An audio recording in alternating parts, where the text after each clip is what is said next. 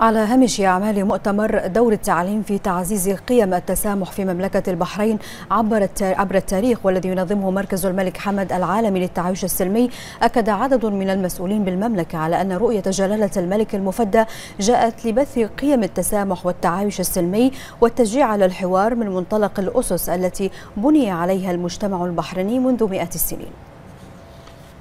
التعليم هو أساس التسامح أساس الفكر المتنور أساس كل ما أن الإنسان يعني أصبح متعلم كل ما بيكون يعني أفكاره نيرة ويتعامل مع يعني يتعامل مع الأديان الأخرى مع الناس بكافة يعني جنسياتهم يعني يؤمن بالتعددية. فهذا الموضوع أنا أعتبره جدا مهم والبحرين طبعا لها تاريخ عريق في موضوع التسامح منذ بداية يعني وجود الدولة وأيضا ما قبل حتى الإسلام. اليوم نتكلم عن التسامح. مملكة البحرين وشعبها أعتقد بأن التسامح رسخ فيها منذ الأزل. نتعايش في المنامة نتعايش مع جميع الطوائف والأديان في مملكة البحرين كما شهدنا في هذه الندوة بأن تاريخ مملكة البحرين منذ الأزل منذ دخول الإسلام إلى مملكة البحرين آه، التعايش مع جميع الطوائف مع الأقلية والأغلبية بقلب أبيض وهذا ما عهد به شعب مملكة البحرين.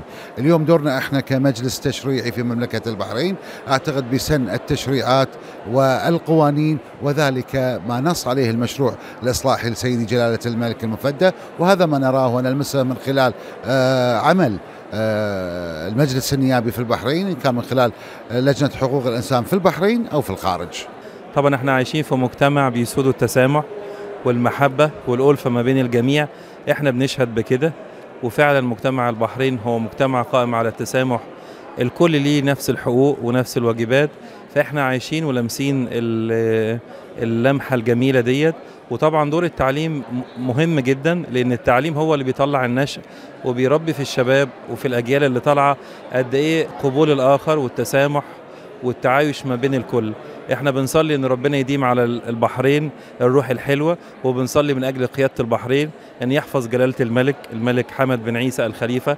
ربنا يحفظه ويديله الصحة والعمر الطويل. يعني هذا المؤتمر اللي أطلق عليه آه، نتسامح لنتعلم لنعمل لنكون آه، مؤتمر يتزامن مع مئوية التعليم آه، في مملكة البحرين.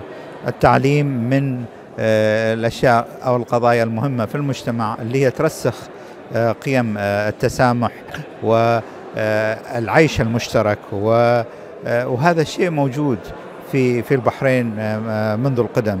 مثل هذه الأمور تؤصل ما ما هو موجود في تاريخ البحرين أهمية التعليم في تعزيز هذه القيم فحقيقة هذا المؤتمر جاء في الوقت المناسب وأنا سعيد جدا إني أشوف طلاب من الجامعات المختلفة مشاركين في هذا المؤتمر. وضحوا لنا التاريخ القديم للتعايش والتسامح في مملكة البحرين.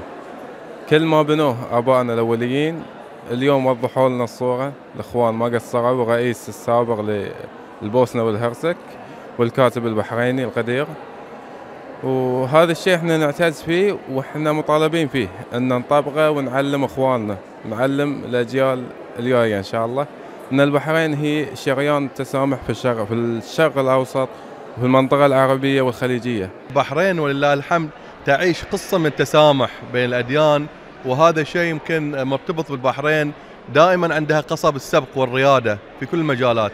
وهذا ليس بالغريب البحرين ولله الحمد منذ مئات السنين تعيش آه، تعايشا في الأديان والطوائف كلهم يعيشون جنبا إلى جنب في محبة وإخاء.